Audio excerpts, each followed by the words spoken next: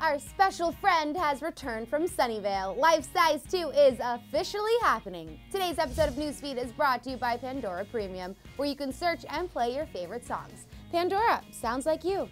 Shine bright, shine far, be a star. Where you live, where you are, be a star.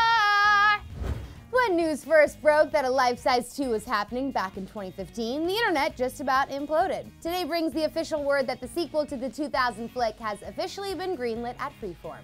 Tyra Banks took to her Twitter to once again break the internet, writing, One word, life size. Oops, two words, life size 2 and cue the hysteria.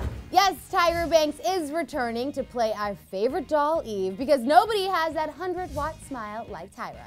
Back in 2015, she had told Variety, quote, There's no one else that can play Eve but me, thank you very much. I'm just joking with you, but yes, I'm going to be Eve. No, but seriously though. Now the only question left is will we see Lindsay Lohan in the film? After all, it was Lindsay's character Casey who woke Eve up from her doll state in the original film. In fact, there would have been no life-size Eve if Casey wasn't trying to resurrect her mother. This movie really does bring out all the feelings, doesn't it? Well, if it were up to Tyra Banks, Lindsay would definitely be involved in one way or another. In a recent interview with E! News, Tyra had a very genuine invite for Lilo. Um, so I would love for you to come back and do something on Life Size, will you? Will you? Will you, Lindsay? And while we work on a cameo for Linds, let's work on locking down another huge celeb for the leading role, Zendaya. Tyra Banks told ET at the Freeform upfronts that she has her sights set on our girl Z, saying, quote, I would love Zendaya. I think Zendaya would be really interesting. This time around, Eve is once again woken up just in time to help a girl deal with life and love during the holiday season.